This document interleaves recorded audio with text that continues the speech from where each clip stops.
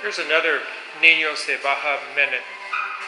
This is a 8,000 pound commercial stove that was donated for the new comedor.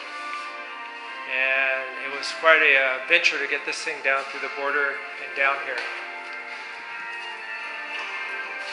And you can see the new room, fans going, painters going. And that's a Tia over there, Tia Bonita.